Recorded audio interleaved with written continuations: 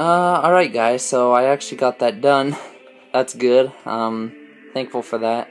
Not sure exactly how I'm gonna edit and break up these videos, but hopefully, hopefully they, that they can get done right. I'm not gonna save, just in case these, uh, don't get done right, but if they do, then that'll be good. I can just come back and glitch my way through. But for right now, we're just gonna watch the cutscene. Um, I'm gonna go ahead and play it, and once we come, once we get back, we'll head on over to Kakariko and just get the, um, go to Dampy's grave and get the hook shot. But I'll leave an annotation as well. Um, I'll put an annotation to skip this scene if you don't want to watch it, and so that'll be basically it for that. And it's funny how the wall, the door of time is just gone, and then when you walk up to it, it's back. So that's just kind of interesting, but. And the legendary blade, the Master Sword, it's now ours. And I will now leave an annotation and let you guys watch this cutscene.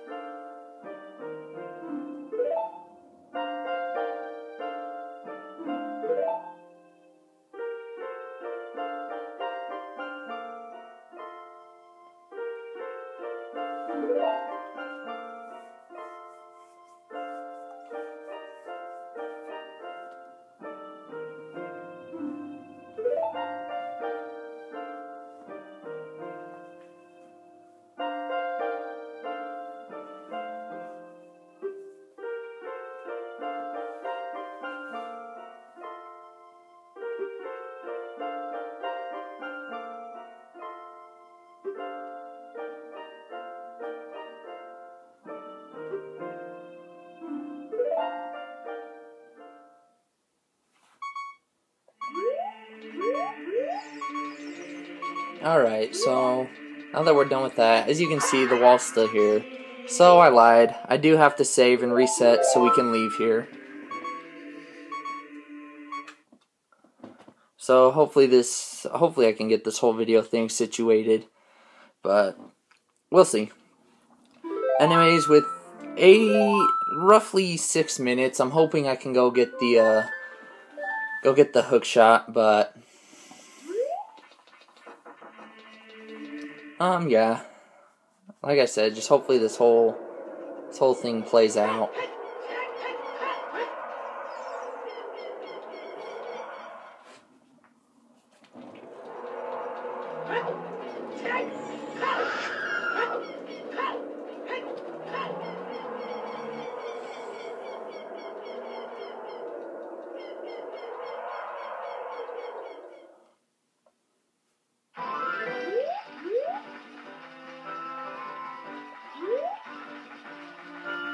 So even as an adult, backtracking is still the quickest way to get around.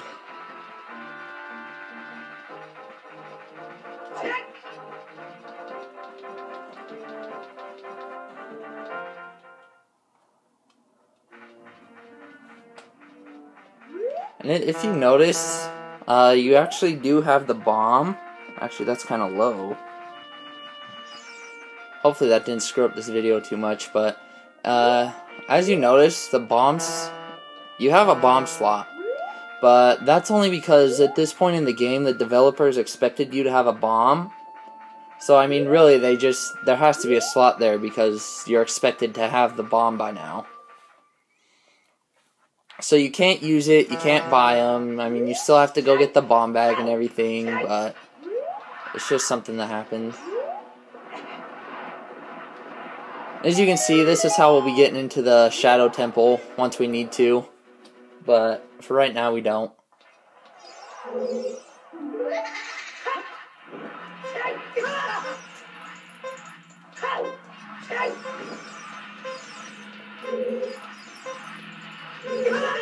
So I'm a little rusty on this, actually.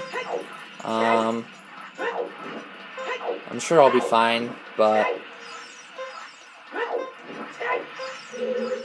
And if you notice on that first roll I didn't take damage, that's because Link doesn't take damage while rolling.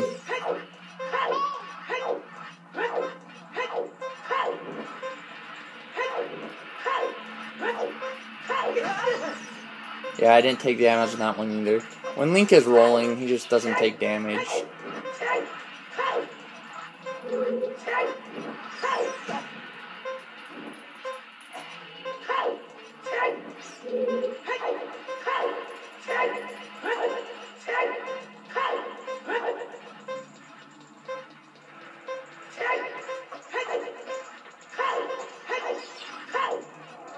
So